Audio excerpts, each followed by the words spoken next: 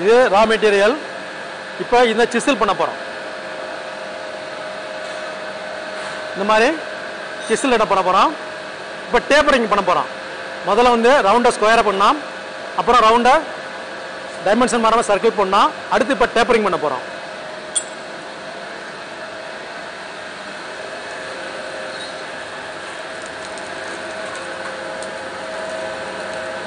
Heat பண்ணுறப்ப first இன்சியலாக heat பண்ணுறப்ப ஃபைவ் மினிட்ஸ் எடுக்கும்.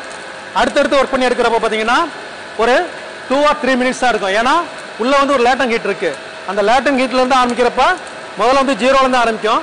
செகண்ட் நம்ம வைக்கிறப்ப பார்த்தீங்கன்னா சிக்ஸ் ஹண்ட்ரட் டிகிரிலேருந்து ஆரம்பிக்கும். அதனால் நம்ம ரொம்ப- ரொம்ப நேரம் வந்து அதுக்காக வெயிட் பண்ணக்கூடாது. பார்த்துக்கிட்டே இருக்கணும். இல்லைன்னா மெல்ட் ஆயிரும் ஜாப்பு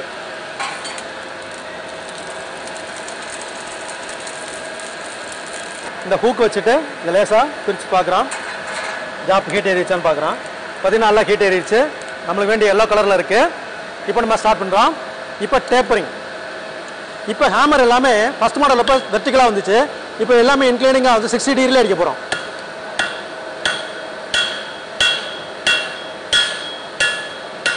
இப்போ இது டேப்பர் ஆயிடுச்சு இப்போ இது டேப்பர் ஆயிருக்கு. திருப்பி அட்ஜஸ்டன் சைடு இதை ஹோல்டு பண்ணிட்டு 90 டிகிரி இந்த டாங்ஸை இதை ரொட்டேட் பண்ணிட்டு திருப்பி எகைன் விடுறோம். அடுத்து again sixty degree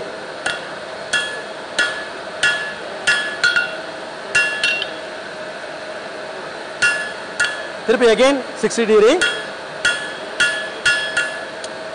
again sixty degree both sides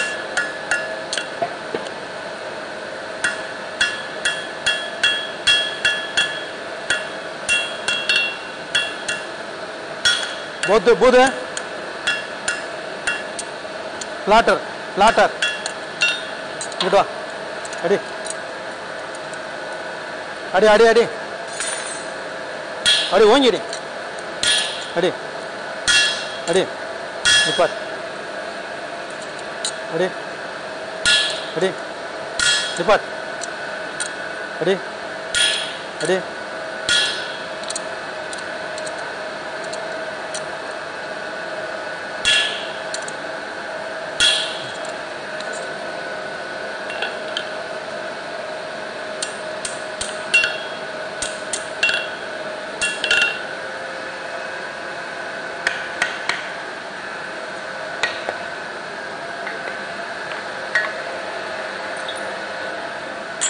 இப்போ இந்த ரவுண்ட் ராடை?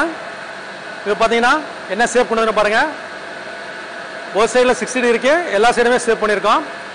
அடுத்து இதை எட்ஜஸ் வந்து ஃபைல் பண்ணி இதை ஃபினிஷ் பண்ணணும். இதை ஃபைல் பண்ண அப்புறம் காமிக்கிறேன். அடுத்த மாடல் நெக்ஸ்ட் போவோம். போல்ட் பண்ண போகிறோம் அடுத்து. இப்போ தேர்ட் மாடல் ஓகே ம்?